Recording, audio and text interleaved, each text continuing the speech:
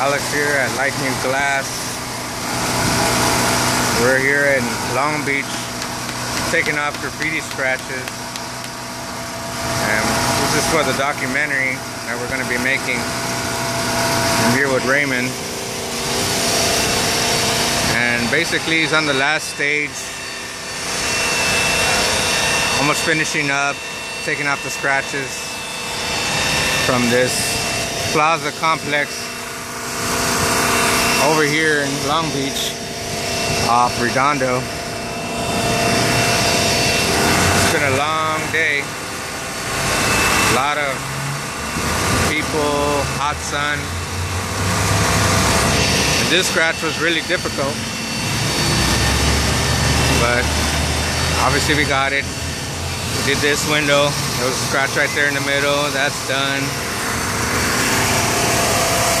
We had this window, had a big scratch right above there. It's not there anymore.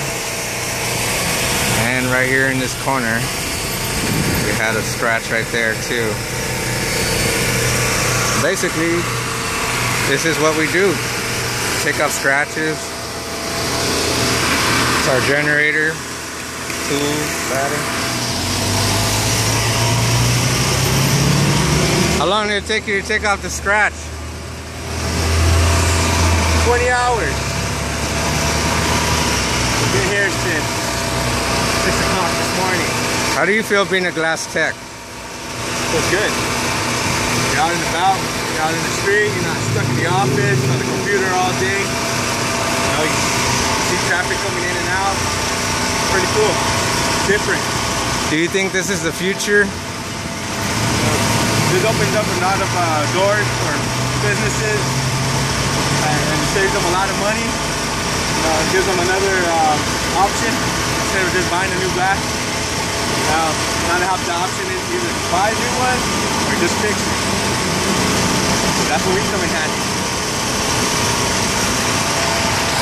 So basically, we save the customer 75 to 80% the cost of replacement.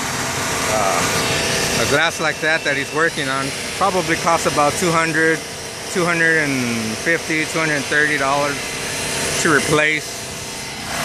We charge about 100 150 120 The prices vary depending on the, how deep the scratch is.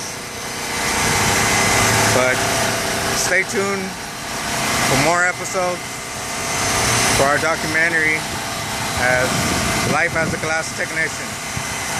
Peace.